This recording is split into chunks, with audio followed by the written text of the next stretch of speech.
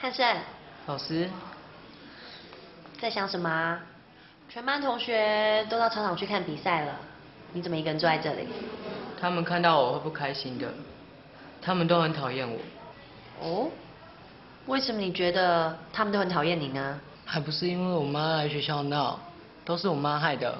汉胜，老师不觉得这全然都是你妈妈的问题哦，好像你转达也有点误差吧？为什么？我哪里有错？都不是因为他，我才会。你真的觉得自己一点错都没有吗？我我有什么错？同学他们讨厌我是因为嫉妒我跑得快，我妈是因为她爱冲动，跑来学校烦人，所以我根本就没有错啊。如果你没有错，那为什么现在你一个人待在这里呢？好，先不讨论对错的问题。那老师问你，现在的情况是你所想要的吗？老师建议你可以试着换个角度来去看那些你所评论还有责备的那些同学。你可以试着站在他们的立场，用他们的眼光、他们的想法来审视自己。也就是说，把自己跟那些发生冲突的人立场兑换，去感受一下对方的心情是什么。每个人都把分配好的东西带来，就只有你忘记。不是解释过了吗？我有打电话回家，我妈说要去上班，我爸也说没有办法帮我送。我已经尽力了，你还要我怎样？要不然你请老师帮我签假条，我现在就回去拿。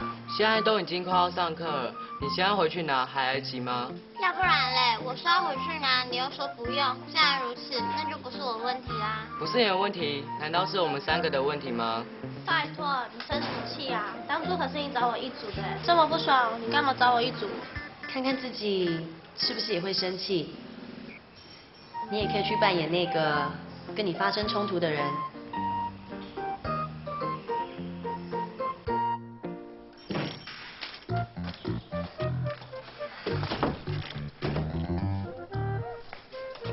干嘛？那是我要用的。谁叫你不好好保护好你的扫把？现在它是我的，这只扫把看起来超好扫的。你给我还来哦！我不要。你现在怎样？抢不到，抢不到。蔡逢人，给我还来！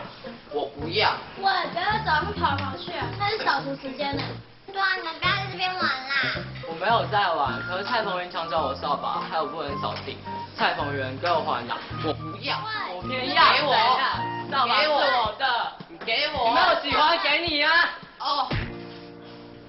我以为你不怎样，要不要去保健室？走开了，害我跌倒。体会一下别人的心情是什么，这样子或许会让你有不同的想法哦。如果你想明白了，老师随时等着分享你的感觉。嗯？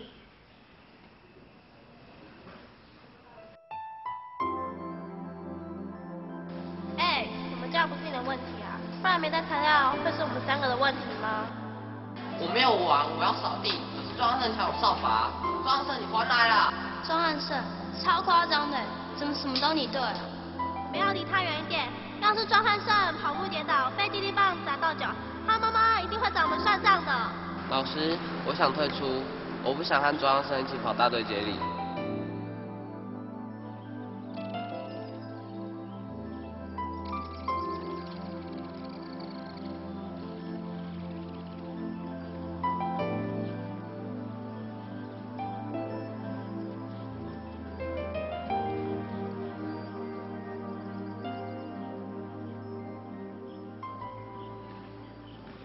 汉胜啊，老师，哎，坐下来，我们聊聊嘛。你是不是在烦恼要如何重返大队接力的事情啊？老师，你怎么知道？关心学生本来就是老师应该做的事情啊，而且文慧老师有跟我讨论过你的状况。怎么样？还没有找到解决的方法吗？我有依照文慧老师的建议，站在别人立场。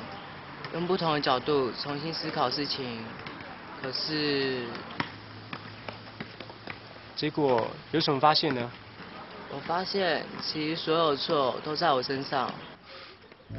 不错哦，懂得反省啊，是迈向成功的第一步。可是我还没想到让同学重新接纳我的方法。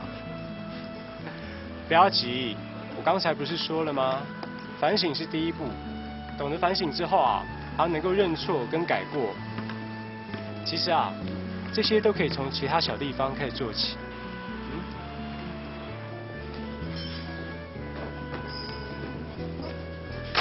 等等，你干嘛？对不起，我没有看你们，你们有没有受伤？没有。那我有事，我先走喽。他会说对不起啊？对啊，好奇怪。